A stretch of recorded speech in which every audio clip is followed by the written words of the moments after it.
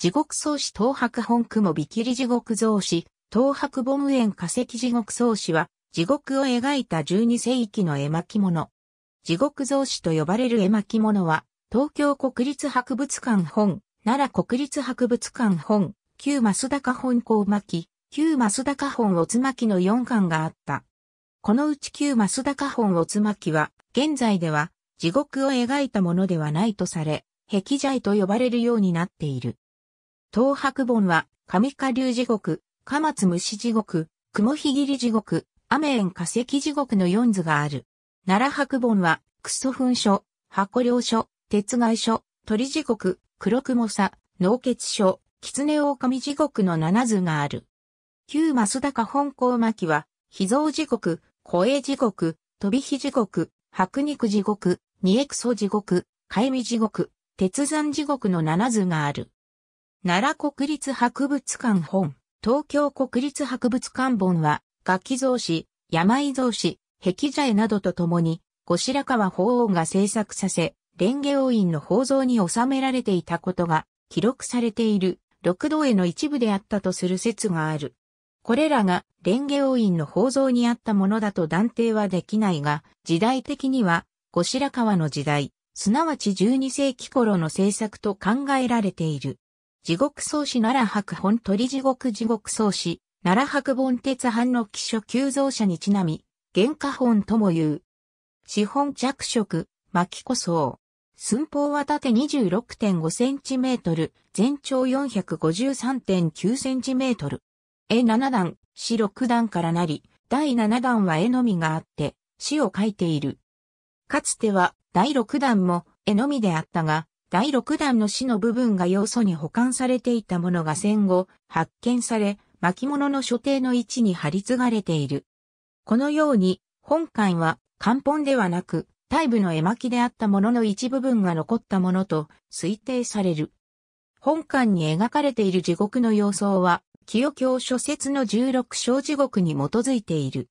巨大な鶏が口から火を吐く、鳥地獄、鬼卒たちが亡者を鉄の臼ですりつぶしている、鉄外書の画像がよく知られている。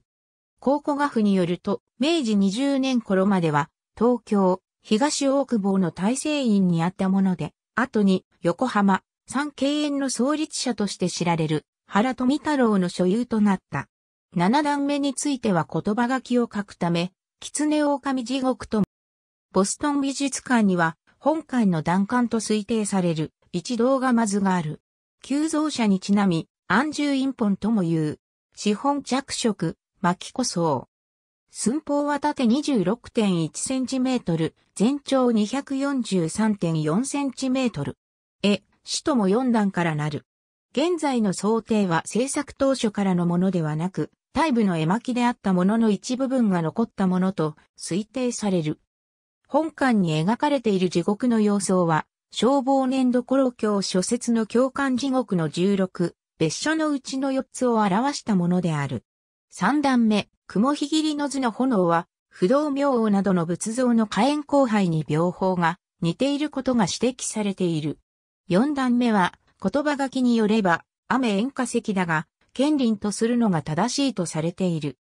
元は、岡山県岡山市の安住院に伝来し、1950年に国有となった。元は、絵、死とも七段からなる絵巻物であったが、戦後、各段ごとに分割されて掛け軸仕立てとなり、各所にバラバラに所蔵されている。本館に描かれている地獄の様相は、仏名行書集の宝たち問答法を社門行に依拠したものであることを美術史家の小林太一郎が指摘している。